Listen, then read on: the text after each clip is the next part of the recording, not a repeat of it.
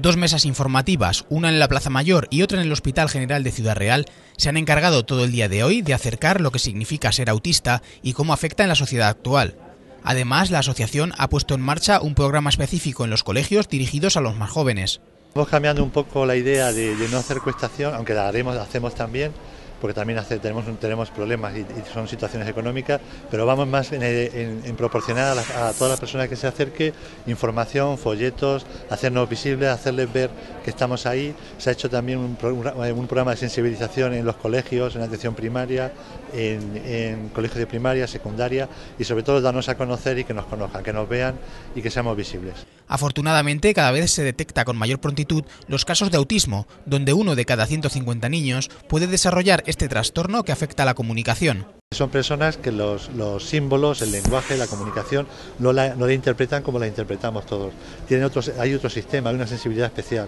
Entonces no se pueden comunicar de la manera que, que todos nos comunicamos, hay que hacerles partícipe de una anticipación y de un sistema de comunicaciones alternativo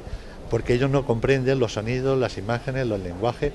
La alcaldesa de Ciudad Real se acercaba esta mañana a una de las mesas para confirmar el trabajo y el compromiso que para con la asociación tiene el ayuntamiento, donde esta noche le pondrán un color especial a dos puntos emblemáticos de la ciudad. Queremos unirnos a esa celebración con la iluminación del carrillo de la, de la ciudad eh, que es yo creo pues un símbolo muy importante de Ciudad Real que se iluminará de azul como ellos nos lo han pedido también